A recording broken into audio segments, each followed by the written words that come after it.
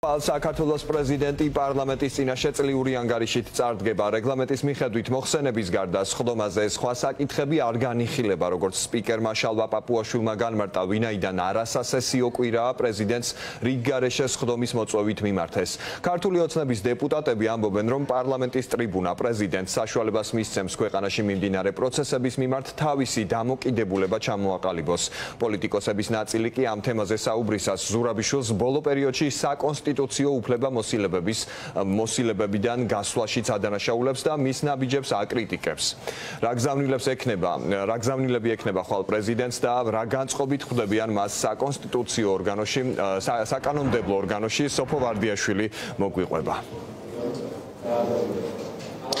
ქართული ოცნების დეპუტატების განწყობის შესახებ ვილაპარაკებ და რაც აშკარად იკვეთება განცხადებებიდან, რომლებიც ქართული ოცნების დეპუტატებმა გააკეთეს, მათი მოლოდინი არის, რომ პრეზიდენტი ხვალ პარლამენტში იქნება კრიტიკული ქართული ოცნების ხელისუფლების მიმართ. სწორედ ამიტომ უმრავლესობის დეპუტატები ერთგვარად დისკრედიტებას ცდილობენ წინასწარ პრეზიდენტის განცხადებების, რომლებიც სავარაუდოდ მათთვის არ იქნება მოსაწონი. მაგალითად, ირაკლი კობახიძემ ერთ პატარა წინადადებაში რამდენჯერმე ახსენა სიტყვა გაუგებარი პრეზიდენტთან მიმართებით. გარდა ამისა, განწყობა, რაც იკითხება ქართული ოცნების დეპუტატების მხრიდან, არის სინანული და ეს აშკარად გამოხატა მამუკა მდინარაძემ, რომელმაც გამოხატა ეს სინანული იმის გამო, რომ სწორედ ქართული ოცნება იყო პარტია, რომელმაც ძალიან დიდი ძალის ხმევა დახარჯა იმისთვის, რომ სალომე ზურაბიშვილი გამختارიყო საქართველოს პრეზიდენტი. ხშირად გეთება მისი მხრიდან, ასე ვიტყოდი, სამწუხაროდ გაუგებარი განცხადებები.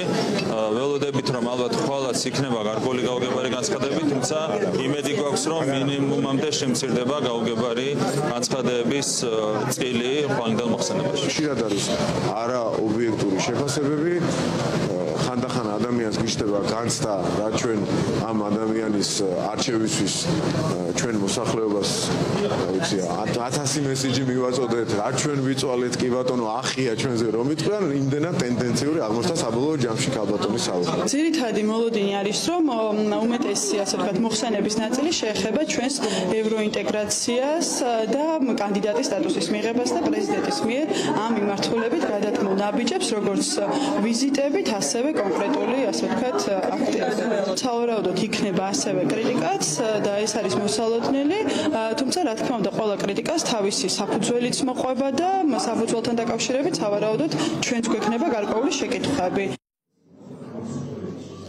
პრეზიდენტის გამოსვლა რომ კრიტიკული იქნება ხვალ პარლამენტში ამას ელის ოპოზიციას თუმცა მაინც მიაჩნიათ რომ პრეზიდენტი ამ განცხადებებს უნდა გასცეს და უფრო ქმედითი ნაბიჯები უნდა გადადგას. რა სიზამს პრეზიდენტი? ხვალ მოვისმენთ თუმცა ხვალ მას ის არ გასცემს პასუხს დეპუტატების შეკითხვებს. გამოვა სიტყვით მას შემდეგ იქ მის შემდეგ იქნება პოლიტიკური განცხადებები და ამ პოლიტიკური განცხადებების შემდეგ სალომე ზურაბიშვილი მაინც შეაჯამებს პარლამენტში მის წლიურ ანგარიშს